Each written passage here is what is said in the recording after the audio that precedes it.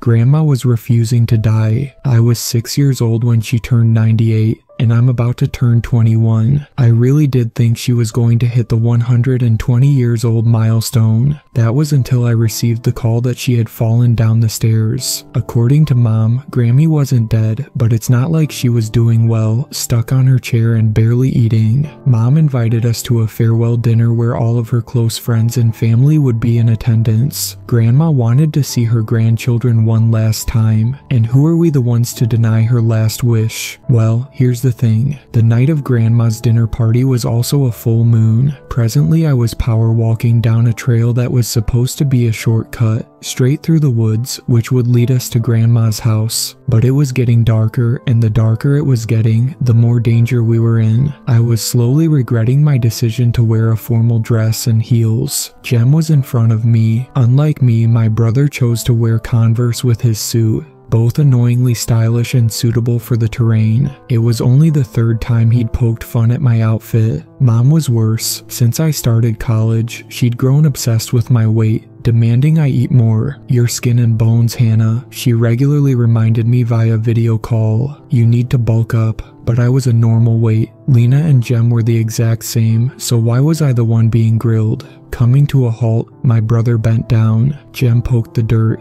Cake crumbs, he nodded to the trail. Who brings a cake into the woods? Kids, maybe. I was trying not to be passive aggressive. I still wasn't talking to him. Of course, you have an explanation for everything. Just keep going, I said, tipping my head back and studying the sky. It wasn't dark yet, but that didn't mean we were in the clear. The sun was setting, a chill creeping its way down my spine. Keep your head down, eyes on the ground. Jem straightened up, running his hands through shoddy hair. While I was a mousy blonde, Jem and Lena were redheads. Does that stick up your ass hurt? Instead of responding in full, I kicked his feet.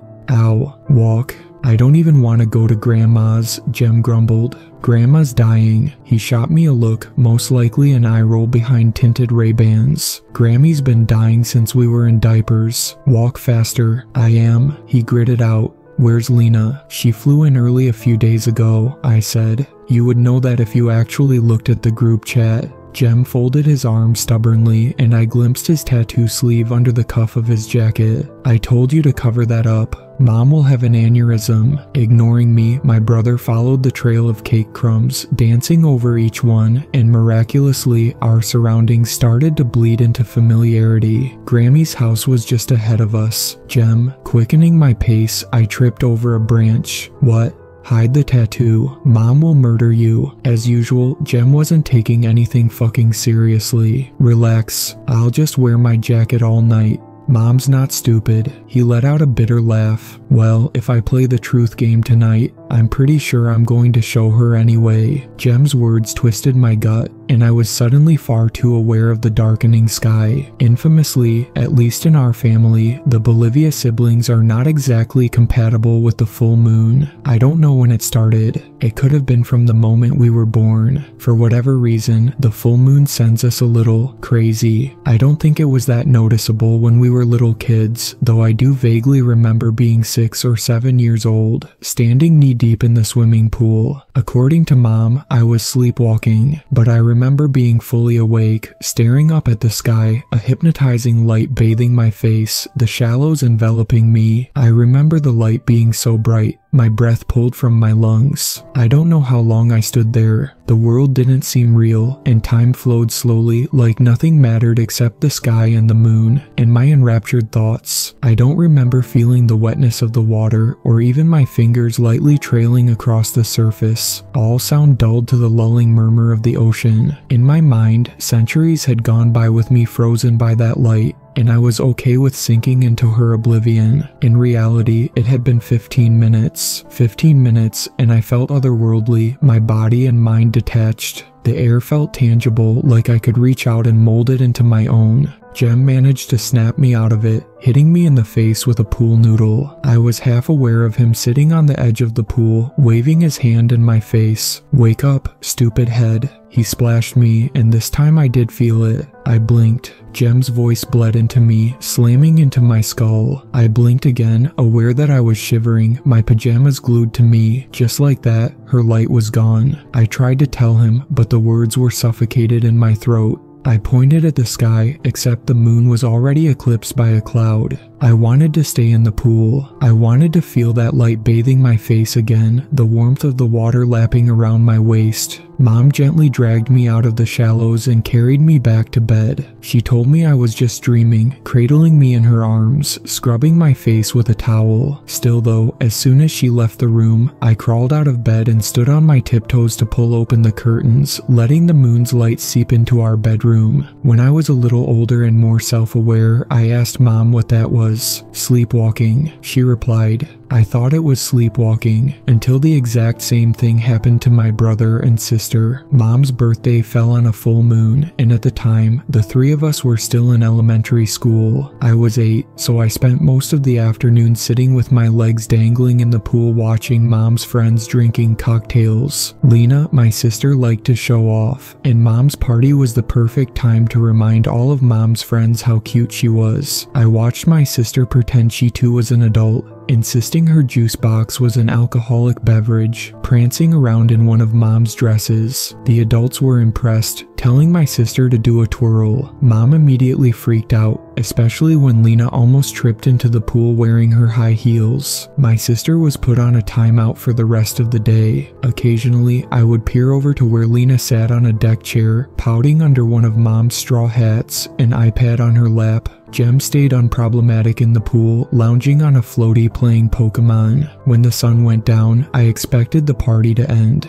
but mom was a little too drunk to remember she had small children, and those small children were tired. Mom locked the front gate to keep her friends from aimlessly wandering into the house, and the sliding glass doors leading inside required a code. Lena attempted to get mom's attention, but she was too far gone, enveloped in conversation with her equally intoxicated friends. When we tried to get her to open the door, she told us to go have fun and loosen up. Mom cranked up the music, her embarrassing dance moves making me wince. Go have fun, she told us, offering us empty juice boxes. Mom picked Jem up and spun him around so fast, his cheeks turned sickly green. Mommy's being stupid, he grumbled. Meanwhile, I really needed to go to the bathroom. I did try to have fun. After all, mom rarely let us stay up past bedtime, and it was way past our usual curfew. I should have been excited. Instead, I was snoozing on the side of the pool, trying to keep my eyes open. There was something wrong with the people at the party, but I couldn't figure out what it was. I noticed it when the sun disappeared and the sky turned darker, sunset bleeding into oblivion above us. It was when all light disappeared, did I start to notice mom's friends were missing something. I inclined my head, narrowing my eyes. I watched a man dive into the pool. It's not like they were missing limbs, but something was missing. The latest cannonball into the pool caught me off guard, splashing me with water and snapping me out of it. When I lifted my head to shout at the man for ruining my dress, a semicircle of silver illuminated the water, and once my gaze found it, I was trapped, unable to move, to breathe.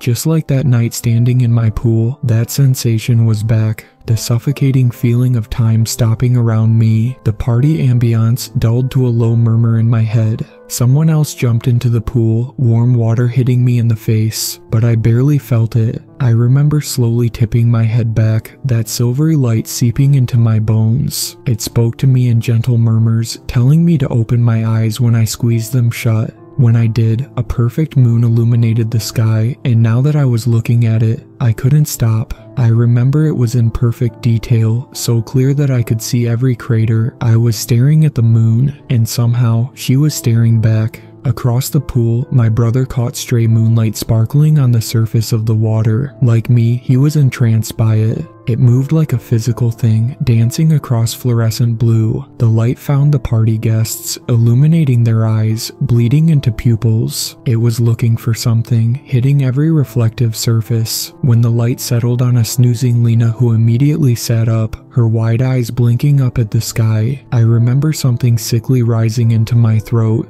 It was like trying to unstick myself from quicksand. Sound hit me in a wave, laughter, music. When someone's hand found my shoulder, my body jerked and I twisted around. There was a man standing behind me. He was speaking, but I couldn't hear what he was saying. Instead, I found myself staring at him dazedly. Bathed in the pool lights, this man looked normal at first glance. But when I was peering closer, carving into him with my eyes, it hit me what was wrong with mom's friends. They didn't have shadows. Hannah, the man shook me gently. Sweetie, you should tell your mommy to stop drinking. He laughed. I blinked three times to get that growing circle of silver light out of my eyes, but it was stuck, initially a semicircle, slowly reaching totality. I stood up, and so did the others. Once again, I couldn't move. I was suffocating in that pooling silver light, what felt like ice cold chains snaking around me. She whispered to me, a haunting melody with no language. It held me for so long, stealing away my breath, my words, before abruptly letting me go. Above me, the moon had slipped behind a cloud. Jem snapped out of it, almost tumbling in the pool. Lena rubbed her eyes, blinking rapidly. For a disorienting moment, part of me wanted the light back. Studying the pool for slithers of silver, I imagined myself enveloped in the water once again. Lena slid off her deck chair, her gaze still skating the sky. Jem was suddenly way too talkative with guests. Jem had been purposely avoiding the party goers all day, shoving away people who called him adorable and tried to ruffle his hair. So, when my brother strode directly over to one of mom's friends, I followed him. The stink of booze made me nauseous. Before she had too many drinks, mom banned us from crossing the pool into what she called the adult side. We had to stay on the kids' side. The adults towered over me as I pushed my way towards my brother, who looked way too comfortable to be standing on the adult side. Jem was tugging at mom's friend's ugly dress. I heard mom laughing at her with her inner circle earlier. When Jem stepped in front of the woman, she immediately ruffled his hair. Mom's friend didn't have a shadow either. Jem Jem. Her bird like squawk caught me off guard.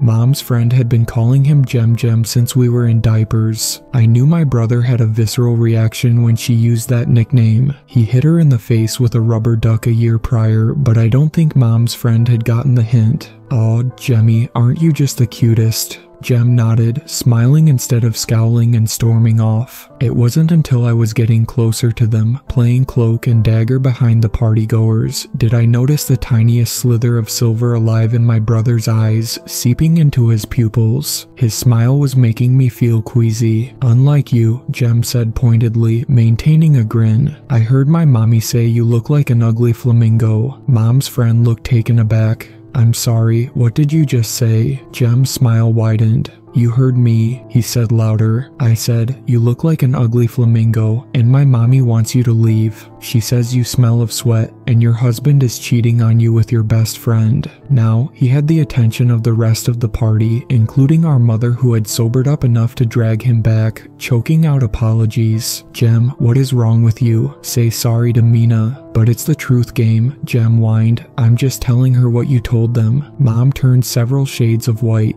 Jem, my brother shook his head, his gaze glued to the sky. The light was glowing brighter in his eyes. He wasn't blinking. I'm not sorry, Jem said. Because you said it, Mom. He giggled and Mom stumbled back, like she was scared of him. You told all your friends that Mina is a gross, stinky bitch, and she looks like a flamingo. Mom's mouth dropped open. Jem Bolivia, where did you learn that word? You, Mom, Jem said. Don't you remember calling Mina that bad word? Mina's expression twisted. Oh, did she? What else did she say, Jem Jem? My brother's smile terrified me, his eyes awash in white light. Well, before he could speak, Mom gently rested her hand over his mouth, muffling what I guessed was a long list of insults. Mom's cheeks bloomed red. Ignore him, He's just playing a game, she hissed out, pressing pressure over my brother's mouth when Jem spoke louder. I heard a really bad word, and mom looked like she was going to throw him in the pool. Behind me, I could see Lena balancing on the diving board.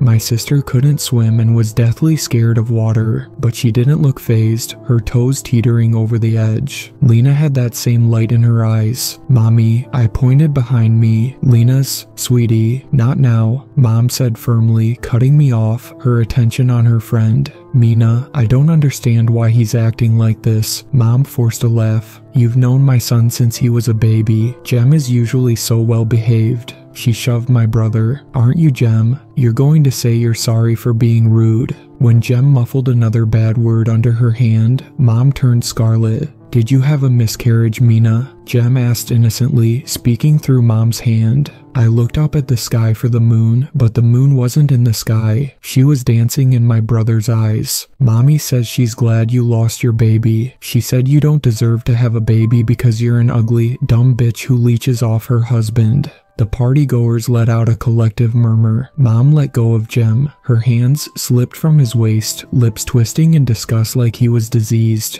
Without a word, Mina strode over to our mother and dumped her colorful drink over Mom's head, soaking both Mom and Jem. Mina stepped back, her dark eyes flicking to my brother. Do you want me to start playing the truth game about your mother, Jem Jem? That intrigued me. Jem only inclined his head. His voice sounded wrong, almost melodic. Maybe. Mina crouched in front of him, a scary smile on her face. Jem Jem, do you know your birthday? Mina, mom swiped orange cocktail from her face. Don't speak to my fucking child like that. Her eyes darkened. Stay out of my family's business. Mina didn't respond, grasping my brother's hands. Are you hungry, sweetheart? I bet you're really hungry. Jem nodded, and the woman's smile widened. She opened her mouth to speak, a sudden loud splash cutting the tension. Mom twisted around, her eyes wide. Lena, Lena had jumped into the pool. I don't remember much from that night, except Lena being dragged out of the water and Mina leaving with a cryptic smile. Jem complained the next morning he didn't even remember what he said, and that just earned him another day of grounding. Mom chastised him for being rude, but my brother had zero idea what she was talking about. We never saw Mina again. Jem Jem was dead, at least. As we grew older, however, the full moon's effect got worse. Lena developed a taste for raw meat,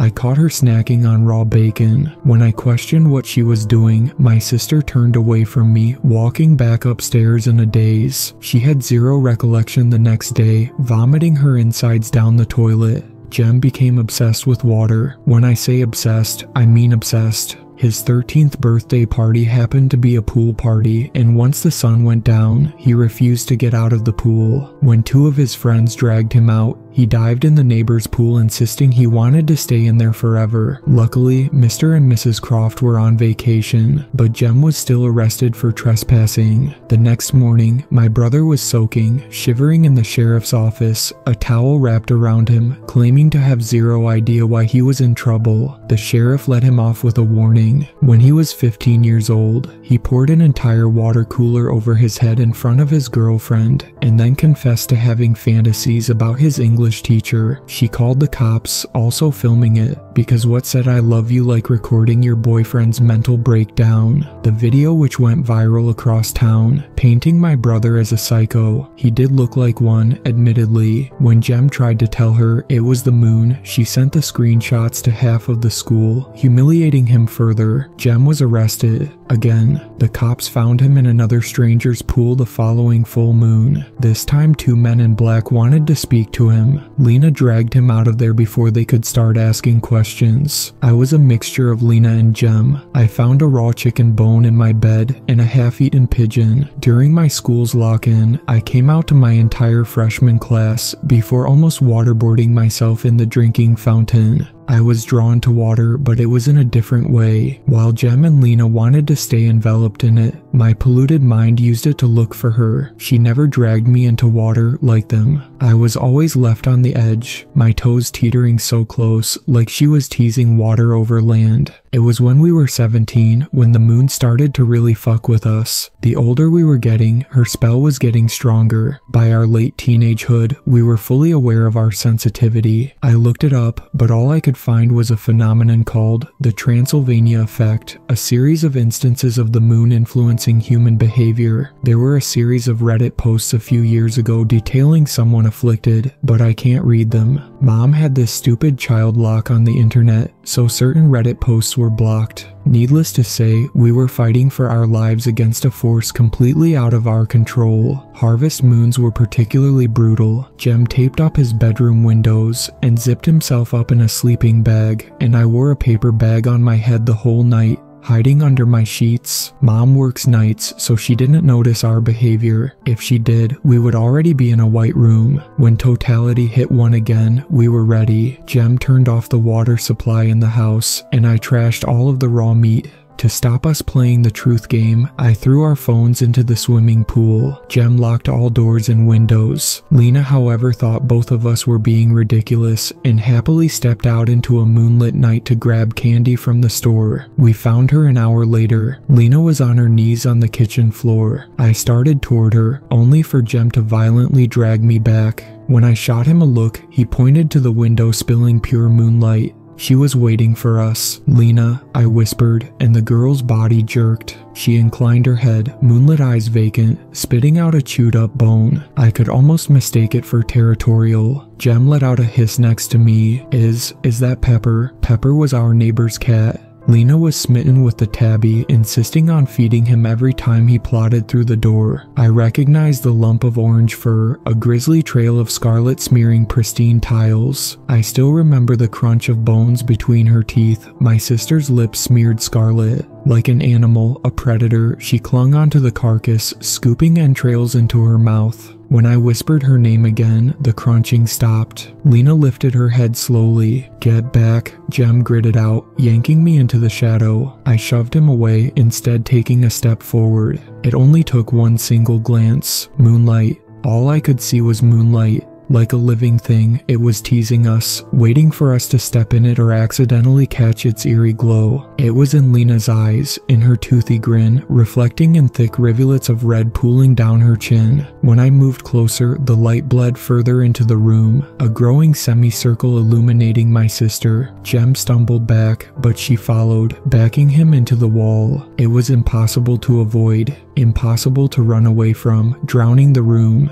In the corner of my eye, she found Jem's eyes, bathing his face. I blinked slowly, and my body was no longer mine, caught in light so bright and yet so beautiful, I wanted to touch it. I was suddenly far too aware of the swimming pool outside and how much she loved water, how much I loved water. The last thing I remembered was dropping to my knees in front of Lena. The next morning, I woke up outside, face down in my mother's flower garden. Lena was nowhere to be seen, and Jem was upside down on a floaty in the pool. I could pretend it was a party, but I was shaking, my breaths coming out in sharp pants. Not enough oxygen was in the air. When I caught my reflection in the bathroom mirror, the remnants of the neighbor's cat stained my lips and teeth in grisly scarlet. Half of Pepper's head was buried under my pillow like I'd hidden it from the others. That was when I attempted to sign myself into a psych ward. The other two distanced themselves after that incident. Jem locked himself in his room, and Lena started sleeping at her boyfriend's house. When I texted them about the full moon and that we had to protect ourselves, I was left on red. Jem acted like it never happened, falling in with a group of high school dropouts, and Lena told me to grow up.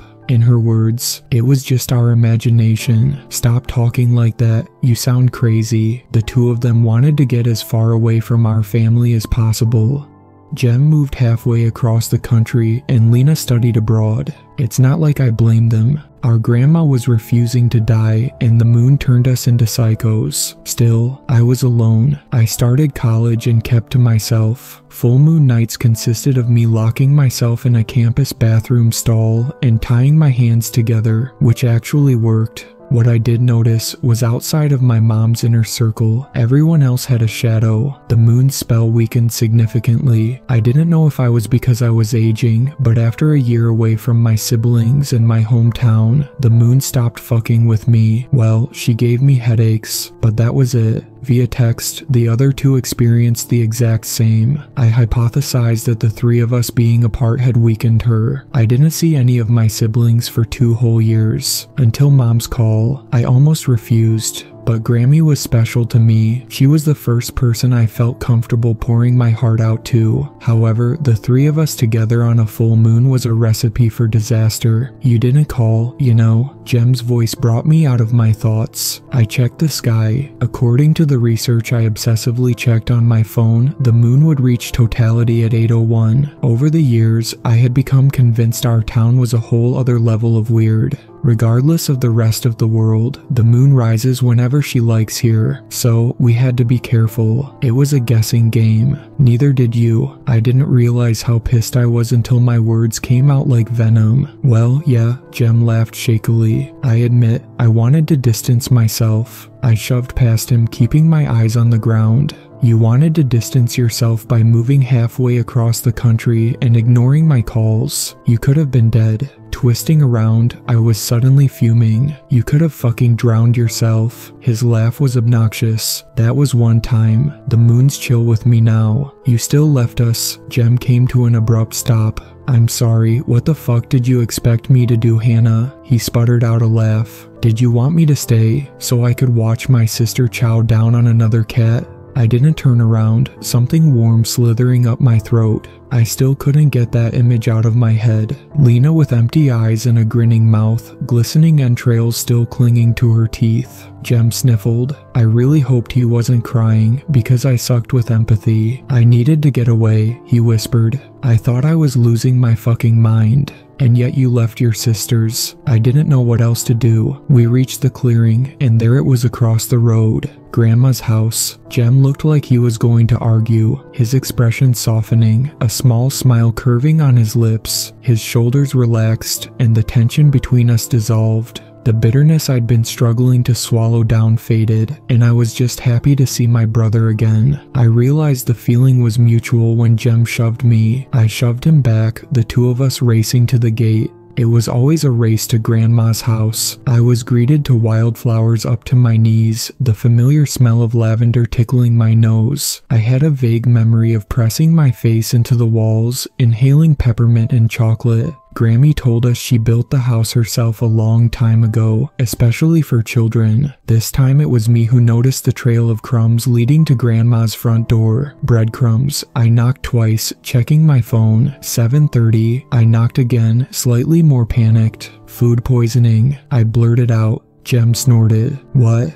I knocked again, gritting my teeth. The moon wasn't even out yet, and I already felt suffocated by her. Jem's presence had turned us into a beacon. We have food poisoning, I said, or the stomach flu. Just say you feel sick. I've texted Lena. Jem nodded. And did she reply? Nope. I was about to knock again, jumping up and down on the heels of my feet when the door opened. Ah, my grandchildren made it. Whatever I was going to say was suddenly stuck at the back of my throat. Grammy was standing in front of us, smiling widely. I was aware of voices behind her, a congregation of people gathered in her house. I could hear Mom's voice, smell the thick aroma of meat stew drifting through the door. I was partially aware of a phantom swarm of bugs wriggling down my spine, my mind thrown off kilter. Grandma, I managed to choke out. Hi, the woman in place of our Grammy was barely 40 years old. Beautiful. Her hair was liquid gold, every wrinkle on her face, every flaw gone. The last time I saw her, my Grammy was a hollow shell that could barely speak.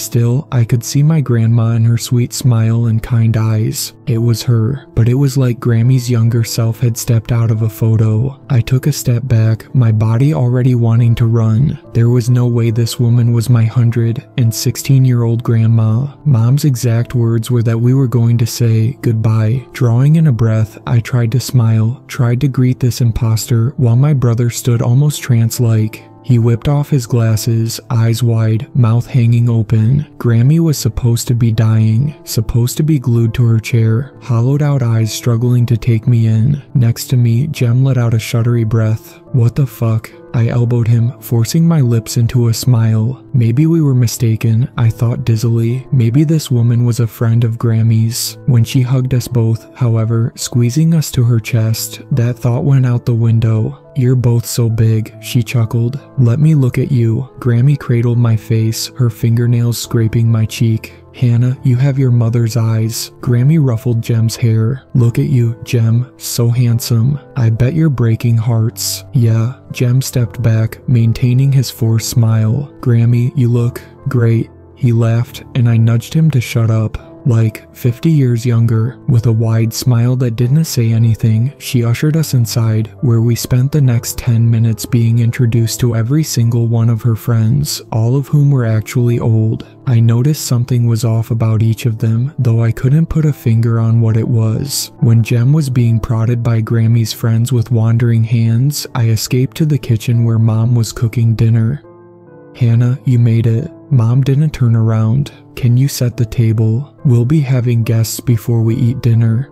Sure, I managed to choke out. Mom, they're special guests, Hannah, she hummed. I'm excited for you to meet them. I'm making their favorite dish. Yeah, it smells good, I said dismissively, leaning against the door. Mom, am I going fucking crazy? Or is Grammy like 50 years younger? Mom turned and hugged me, her gaze automatically snapping to my stomach. You're not eating properly. Mom, that's not the issue here, I hissed. What happened to Grandma? She went back to stirring stew. Set the table. Our guests will be arriving soon. Mom was going to be zero help. When I abandoned her, I bumped into Jem. His jacket hung off of one shoulder, a lipstick kiss smudged on his left cheek. They keep saying I look good enough to eat. Old people were adorable. Well, he mouthed, scrubbing at his face. I just shook my head. I'm going to the bathroom. You set the table for dinner. Jem frowned. Wait, why me? I nodded to the barrage of old people. You have fans. Halfway up the stairs, I noticed something on the carpet a single crumb, chocolate cake. Again, further up, there was more, a whole trail leading down the upstairs hallway. Curious, I followed it where it came to a stop outside Grandma's bedroom door. Hannah, Mom shouted from downstairs when my hand was inching toward the handle. Dinner is ready. Hannah, the muffled voice from behind the door startled me. Lena, Hannah, help me. The door was open. When I pushed through, my gaze first found the ground, pooling scarlet staining cream carpet. Something in my mind seemed to snap, come apart, unraveling me completely. There was chocolate cake and candy everywhere, splattering the walls, streams of scarlet staining every surface. I saw my sister's dress, a pink gown she had gushed about days earlier over text. But that was it. There was just Lena's dress, Lena's torso, half of her arm chained to the wall, the other half chewed off. I could see where chunks of her had been hacked off, the fat off of her legs, half of her fingers and toes. Next to her was my brother's suit jacket crumpled in a heap. I glimpsed what looked like Jem's arm, mangled down to the bone, still attached to the wall, but Jem was downstairs. When I saw my own head half shoved under the bed, my skull gnawed into the world around me started to crumble. Hannah, the headless torso with my sister's voice wailed, Hannah, make it stop. I could see my sister's hands scooping up chocolate frosting, cramming it where her mouth should have been. I took a step back. Something warm splattered the front of my shirt, dripping down my chin. I'd barfed over myself, but I barely noticed. I watched my brother's severed hand writhing, like it was still attached to a body, still wanting to gorge itself on treats. When I slammed the door on Lena, her disembodied cry was still rattling in my skull. I can't stop eating. I thought about my actions very carefully. Slowly, I made my way back downstairs. Mom was serving dinner and Grandma was in the kitchen, crouched in front of the oven. The mincemeat on the stove was thick, bubbling into a paste. Lena stew. I took the sharpest knife I could find and aimed to stab my grandma in the neck. Then I planned to slit my mother's throat and run. My own family had cannibalized whatever the fuck was in that room. I couldn't think, couldn't breathe, blinded by intense, brutal red. What I wasn't planning on was Jem coming up behind me. From the sickly glow in his cheeks, he had found Lena too. So, with one brutal kick, my brother shoved our grandma into the oven. We had always joked as kids that one of us could fit in there. Get out,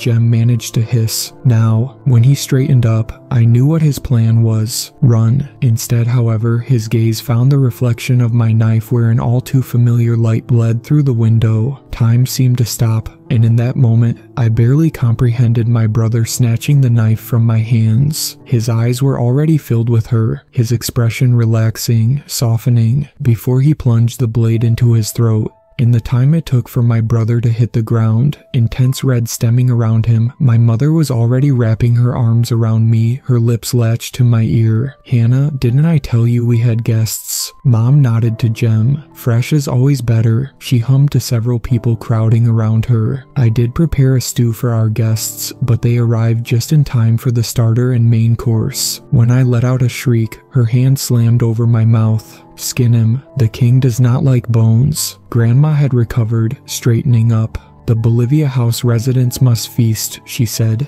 Skin and gut the boy. Jem was dragged away by his feet, a scarlet smear following him. Grandma's words rattled in my head. Meat. Mom matched me out into the hallway, lit up in orange candlelight. The crowd of strangers parted for us, and I was forced to my knees in front of four looming figures. Mom forced my head down in prayer. Hannah, you are so lucky to not just be part of them, but also feed them. They are so hungry. Her voice broke out into a sob, a hysterical cry. She took our outlines, our terrestrial shackles, and we are so grateful for her mercy. We will feed our kings and queens with the blessed flesh they birthed. Mom had lost her fucking mind. I expected the four guests to be gods with the way she was acting, but looking up at them, risking a glance, I was face to face with three college kids, mid to late 20s, two guys, and two girls. I think they used to be human, now shells of humans, shaped and molded into something else entirely. These people were not gods, their bodies and minds shaped and used as terrestrial hosts for gods. The crowns of bone forced onto their heads were brutal, old and new red staining their skin, but it was their eyes I was drawn to, filled, suffocated, drowned in blood-stained moonlight.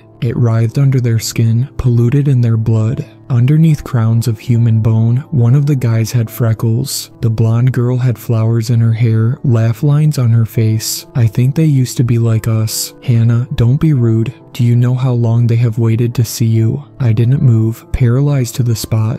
One of the girls, a brunette, offered her hand. Hannah, mom snapped, shake your goddess's hand. With not much choice, I obliged, trembling. I saw a flash of something, moonlight stained with blood pooling across a concrete floor, a skylight, and the same guy in front of me. He was their king drenched in red, half of a human skull sitting comfortably on reddish curls. His smile was inhuman, a god suffocating a human boy's soul. Unnatural eyes I could have sworn were filled with static. That is who I saw. In her memory, this king was a frightened college kid, lips curved into a scowl. You knocked us out and tied us up in our basement. His voice echoed in the woman's memories. I think that counts as hurting. Another memory hit, and I sensed the woman's fingers tightening around mine. She was clinging to me, her nails stabbing into my flesh. What if we don't come back this time? His voice was soft. I saw human eyes filled with light, still clinging on. This man held a hatred, a disdain for her she didn't understand.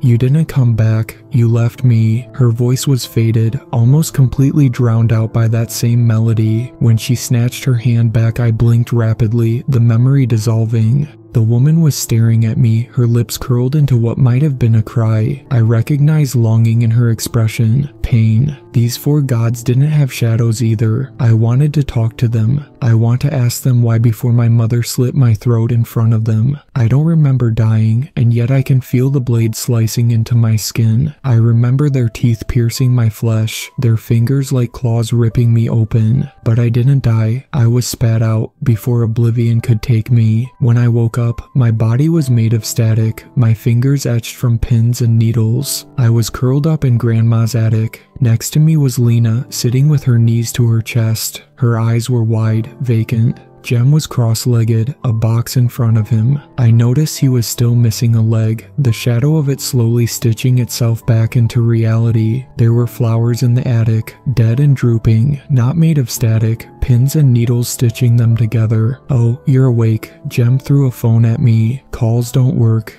neither do texts, but it has the internet. Jem, he didn't look at me, his hands shaking. Yeah, I know. He held up a sheet of paper and I squinted at it. It's our birth certificates, Jem said. According to this, we weren't born 21 years ago. He thrust the document in my face. We were born six months ago. I followed his pointer finger. That psycho bitch isn't our mother either, Jem prodded at a name that had been scratched out. That is our mother. There's so much going through my head right now. I died. I came back to life. Is that why I also exist in that room? Am I a never ending meat supply? You have to help us. I don't know who I am. I don't know where I am or what I am. Most importantly, I have no idea who or what brought us into this world. Thank you to my super fans, Sweet Black Swan, Tacy, and Brooklyn. I really appreciate you supporting my channel and I look forward to making more content for everyone.